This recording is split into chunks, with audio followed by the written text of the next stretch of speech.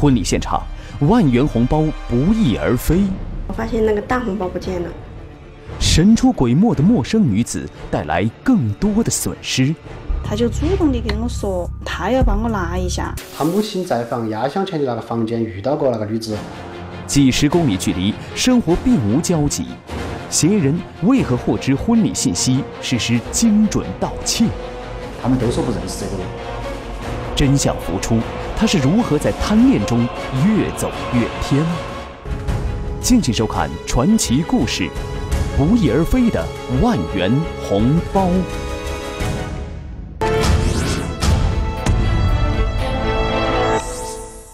各位观众，大家好，欢迎您收看传奇故事，我是主播金飞。婚礼可以说是人这一生当中最美好、最难忘的时刻了啊！它是幸福婚姻的开始的时候的这个重要见证。二零一八年年初，四川省岳池县的一对新人呢，正在举行婚礼，亲朋好友都到场祝福了，那现场是一片欢乐的气氛。哎，但是有一件奇怪的事情呢，却发生在了这个婚礼上。那是件什么事儿呢？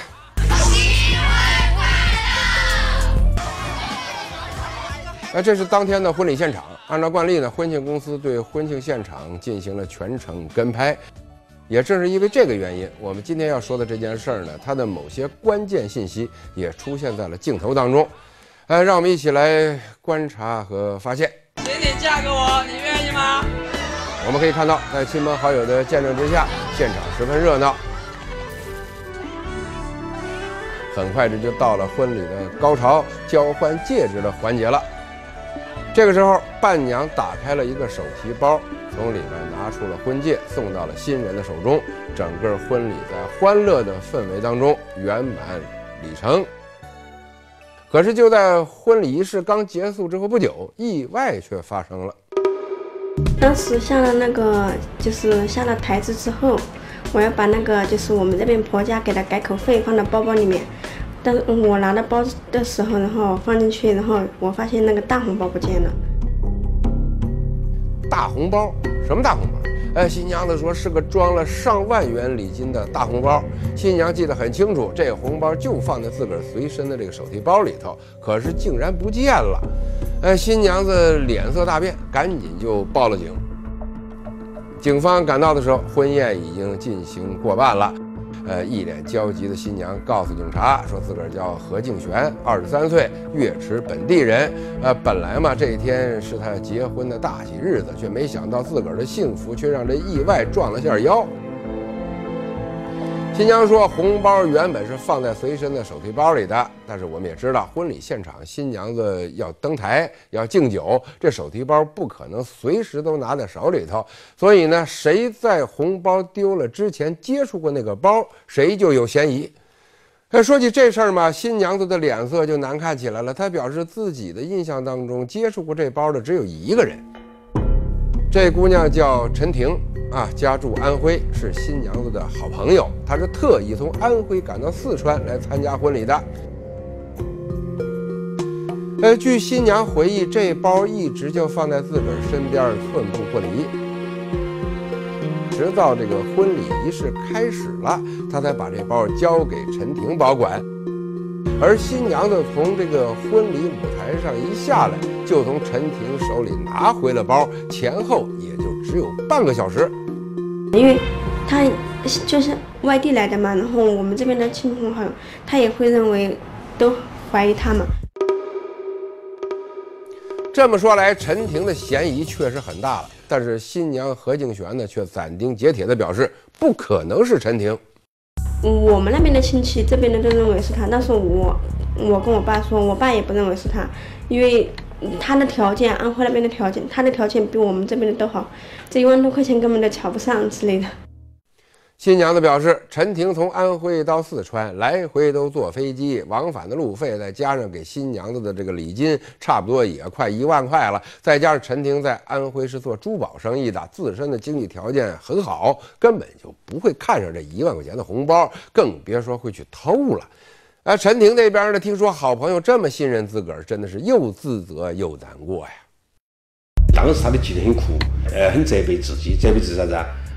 没将他的包包保管好。但是按照新娘子的回忆，陈婷是唯一接触过手提包的人。如果不是陈婷，那会是谁呢？哎，这时候陈婷突然想到，她并不是唯一一个接触过包的人，还有一个人也打开过这个包，那就是新娘的亲妹妹。这亲妹妹会偷姐姐的钱？呃，为了查清真相，警察呢找到了新娘的妹妹。据了解，呃，新娘的妹妹刚满十八岁，当天呢是给姐姐做伴娘的。在婚礼仪式举行的过程当中，有一个重要的环节，新郎新娘需要交换戒指，而这个戒指就是由新娘的亲妹妹负责的。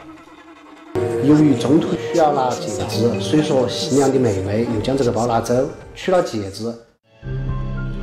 新娘随身的包里头不止放了红包，还放了婚戒。于是呢，也就有了我们节目刚开始所说的那一幕：作为伴娘的妹妹从包里拿出婚戒，然后把婚戒拿上舞台。不过，由于全场的目光都聚焦在台上，摄影师的镜头也一直对准两位新人，并没有人知道拿婚戒的时候发生了什么。那么，妹妹真的有拿走红包的嫌疑吗？嗯新娘再次表示了否认。她妹妹和她的那个新和她的父母亲嘛，都是在外面务工，经济条件也还比较不错，而且她们两姐妹啊关系也非常好。警方了解到，新娘的妹妹平时没什么不良嗜好，也不缺钱花，偷这笔钱的可能性很小。两个嫌疑人都从动机上被排除了，可是包就在他们俩手上打转，他们俩都说不是自个儿，那钱实实在在的又没了，这是怎么回事呢？哎，其实在这儿我们得提到一个概念，叫选择性记忆，说的是我们人类这个大脑在记忆上它是有取舍的，我们往往会记住那些对自个儿有利的或者是自个儿熟悉的人和事儿，那些跟自个儿关联不大的信息，可能就会被我们的这个记忆啊给忽视。警方很清楚，红包肯定不会无缘无故的消失。陈婷和新娘妹妹的这个记忆当中，一定还有被他们无意当中遗漏的地方。那经过反复的询问，这个新娘妹妹突然想起一件事儿，说：“我从姐姐的这个手提包里取完钻戒之后，因为急着上台，并没有把包还给陈婷，而是随手递给了旁边的另一名女子。”是来参加婚礼的其中的一个女子，我妹说是当时给一个大耳环的，就是说给她，她认为是我们朋友。婚礼之上都是新人的亲朋好友，这是许多人的普遍认知，所以新娘的妹妹就随手把自个儿的这个信任交给了这名女子。可是这人是谁呢？哎，这时候陈婷的记忆开始复苏了，她也想起来了，自个儿其实接触过这名女子。在我经手的过程中，呢，我把那个包。让一个女的提了一下，大概只有两三分钟。哎，陈婷居然也曾经把包给过这名女子，这是什么时候发生的事儿？之前怎么没听她说过呢？陈婷说呀，那还是在婚礼仪式进行之前。在那个婚礼举行前，新娘当时把她穿在外面的外套，还有她红色的手提包。以及伴娘的外套都给我，让我帮她拿。好，我一下子都拿不到那么多东西。好，那时候啊，旁边都有一个女的，她就主动的跟我说，她要帮我拿一下。好，于是我就把我的包包、新娘的手提包以及呃几件衣服都递给了她。注意，那女子很主动。而陈婷并不认识，只是见他一直站在新娘的旁边，觉得他也是新娘的朋友，于是就放心的把手提包交给他临时代管一下。这听上去就跟新娘妹妹的那经历几乎是一模一样。警方一下子就警惕起来了，他们觉得这名女子嫌疑很大。可她究竟是谁呢？陈婷和这个新娘妹妹就开始向亲友们描绘这个女子的模样了。据他们回忆，确实这个女子大概有二十多岁，呃，本地的口音，人说起形容都差不多，这确实应该有这么一个人在婚礼现场出现。但是无论是新郎这边还是新娘这边，都表示他们对这个人没印象。警方带着陈婷他们仔细查看了当天的这个婚礼视频录像，也没有发现他的身影。这人究竟是谁呀？到哪儿去了呀？这时候新娘脸色发白，想到了一种可能。他们没有在那吃饭，到处找遍都没有找到他，就怀疑是他。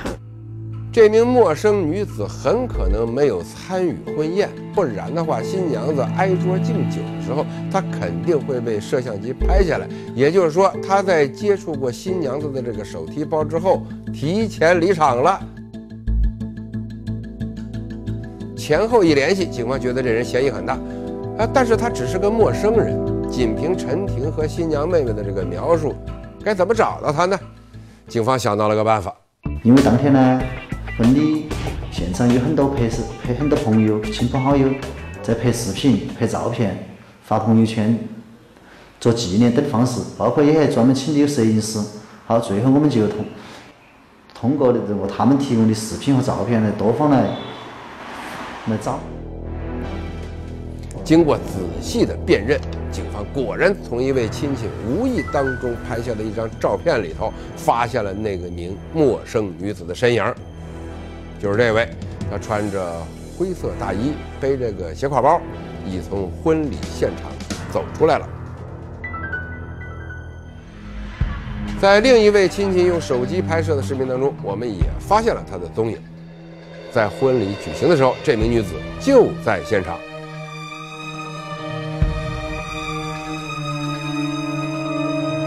这个女子，我们又让新娘、新郎双方的亲朋好友。都来认进行辨认，他们都说不认识这个人。一个陌生的女子不请自来，突然出现在了婚礼现场，又突然消失。紧接着，新娘子的红包消失了。那可能看到这儿，您会产生这样的联想：莫非他是偶然路过的路人，趁乱进来偷钱的？事实上，那真相比我们想的要复杂。因为就在这个时候，陈婷语出惊人，她想起自个儿把这包给陌生女子的真正原因了。因为这个人从婚礼当天一早开始就一直在。好，这个女的是和我一起坐的一个车来到南方那边的。好，我当时啊也以为他是新娘的亲戚朋友。四川的风俗是早上接亲。新郎官呢要从新娘家里头把新娘接出来，也就是说，在接新娘的时候，这名陌生女子就已经出现在了新娘的家里。这个细节让新娘子惊得都快跳起来了。陌生女子怎么会知道我们家呢？她从一开始就潜伏在我家，到底想干什么呀？呃，听闻这个消息，新娘的亲人们也是一阵骚动，一些被他们无意中忽略的细节纷纷涌上心头。新娘子的妈突然叫起来了。我也跟这名女子打过交道，房间遇到过那个女子，哈，那个女子当时手机在那个屋头耍，他问那女子在做什么，那女子说给手机充电。新娘的母亲说呀，女儿还在梳妆的时候，那女孩就出现了，而且她还走上了二楼的房间，一间放着新娘嫁妆的房间。新娘的母亲以为是女儿的朋友，也就没在意。在装嫁妆的时候，那女孩还非常热情地前来帮了忙。我妈不咋会，她就叫我妈，因为她说是她是化妆的，她很懂这个。然后我妈跟她打过招呼，她说：“哇，现在小姑娘也会装这个。”我妈都很惊讶，她怎么会？装完嫁妆之后，新娘的母亲叫那名女子下楼吃早饭。那女子说她已经吃过了，要在屋里头给手机充会儿电。新娘的妈呀，也认为哈，肯定是亲戚，她不吃了就算了，早晨。这一幕在当时看来嘛，很是寻常；事后想起来却是别有用心。陌生女子找理由，一个人留在屋子里头，想干什么呀？哎，新娘的家人突然想起一件事儿：压箱钱，那嫁妆里头还装着压箱钱呢。后后来想了一下，压箱里还有三千块呢。一群人赶忙来到新娘家。果然不出所料，父母给的三千块钱压箱钱只剩下八百块了，其他两千二不翼而飞了。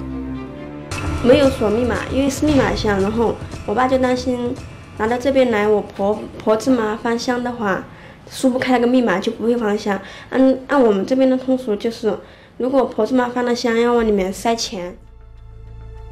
嫌疑人很可能从一早开始就盯上了新娘。警方顺势梳理了一下嫌疑人的行踪，他从新娘家离开之后，还乘着接亲的车一道来到了新郎家。在新郎家转了一圈之后，又来到了酒店。他一路热心帮忙，获得了新娘亲戚朋友的这个信任。但是又因为实在是陌生，又很快被人们遗忘。种种迹象显示，新娘丢失的钱很有可能都是被那名陌生女子偷走的。当然，也不排除团伙作案或者是两伙人里外配合作案的可能性。但是有一些问题呢，也令新娘百思不得其解。既然是陌生人，怎么就能那么准确地知道自个儿要结婚，并且找到了自个儿的娘家呢？那这时候呢，警方提出了一种可能：嫌疑人很可能就住在新郎或者新娘家附近，这才听说新娘结婚的这个具体时间和地点。但是经过大范围的走访，警方并没有在新郎新娘家附近发现任何线索，这就奇怪了。那这位陌生女子是怎么出现的呢？这个时候，警方在附近的交通监控当中有了发现。我们调取了附近道路上的监控录像，看这个女子是怎么离开现场的。新郎老家所在的村子旁边有一条主干道，在距离村口一百多米远的一个监控当中，警方发现了嫌疑人的踪迹。这段监控视频显示，事发当天下午十三点零五分，嫌疑人离开婚礼现场之后，上了一辆开往岳池县城的中巴车。然后我们就调到岳池原图的监控，就发现呢，这个呃女子啊，就在呃岳池呃县城呃下的车。岳池县汽车站内的这个监控显示，嫌疑人从一辆客车上下来之后，进入到了一个理发店。从理发店出来之后，就再也没有了踪迹。我们经过询问，问到那个理发店的工作人员说，这个女子当天在那个地方，呃，洗了头发的，而且这个女子呃时常在他们那儿洗头发。女子经常到这儿洗头。这说明什么呢？这女子的生活范围应该就在理发店附近。警方呢，于是就对周边地区展开了大范围的走访，终于锁定了那名女子居住的小区。从小区物业那里呢，警方找到了这个嫌疑人的个人信息。经查呢，他是叫王慧，是岳池本地人，刚满十八岁。接下来顺理成章。就应该见一见王慧本人了，但是意外却出现了。警方发现王慧突然不知去向了。经过商量，于是大家决定在他家下面蹲守，因为他家在儿，他总会回来的。事发五天之后，王慧终于出现了。警方等到了他从外边回来，于是立即采取了行动。抓不到后啊，我们对他当场进行讯问。讯问的时候啊。一战也就马上呢也承认了。讯问当中呢，王慧说自个儿只花了几百块，他把剩下的一万五都交出来了，总算是为新娘家挽回了一点损失。呃，事情到这儿嘛，还有很多疑点没有解开。新娘表示，自个儿跟这王慧是一点儿都不熟，一点儿印象都没有。而王慧呢，生活在距离新娘家几十公里之外的县城里，跟新娘子的日常生活没半点交集。王慧是怎么得到了新娘要结婚的具体信息，还坐着车去新娘家偷钱呢？哎，下边要说的这事儿就很有警示意义了。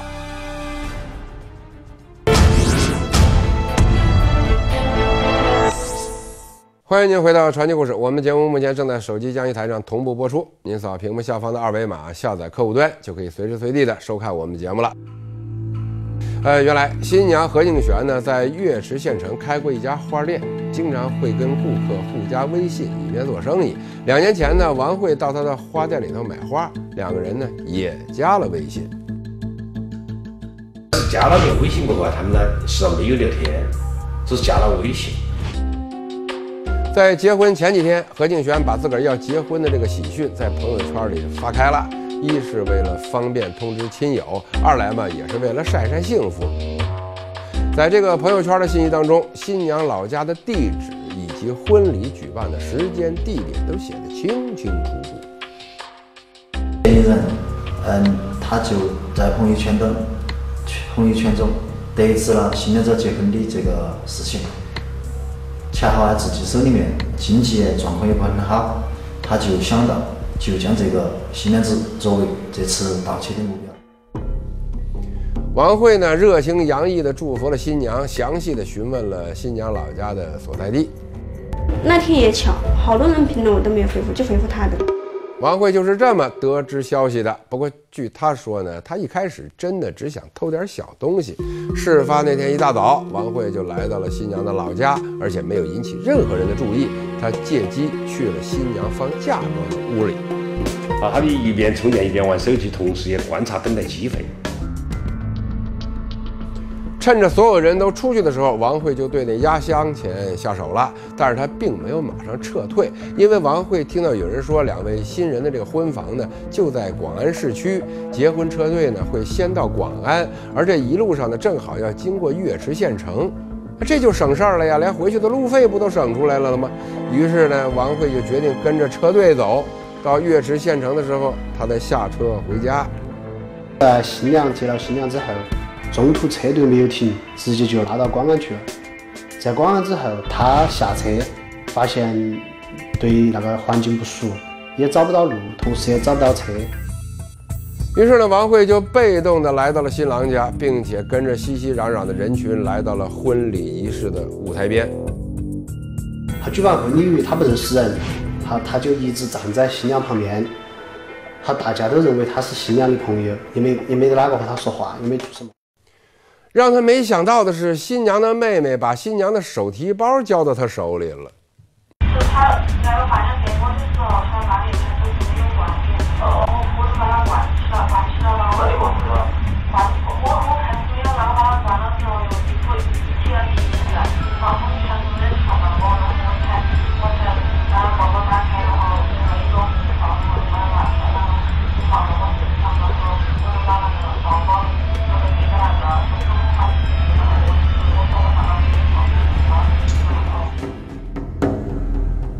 就这样，原本只想偷新娘压箱钱的王慧，就在大家的疏忽和自己的贪念当中越走越偏了。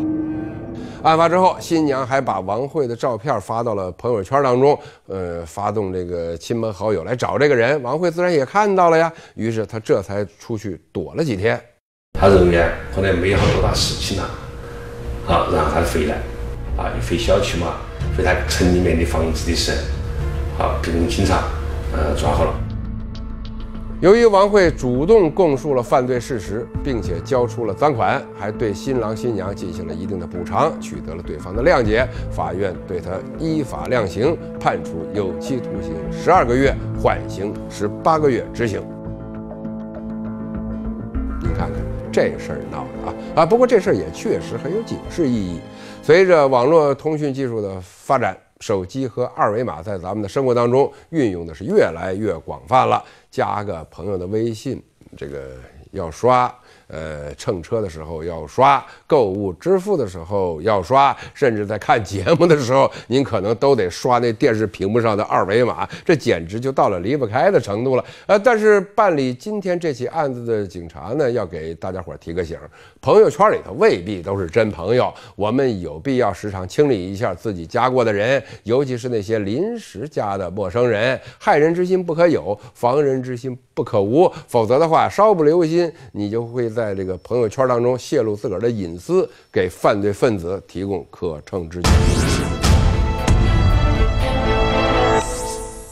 好，各位观众，非常感谢您收看今天的传奇故事。如果在您的身边有什么新闻发生的话，欢迎您通过屏幕上的联络方式告诉给我们，好让我们大家一起来关注。啊，如果您还想收看到更多精彩内容，那就请到各应用市场去下载手机加一台客户端。好，各位观众，再见。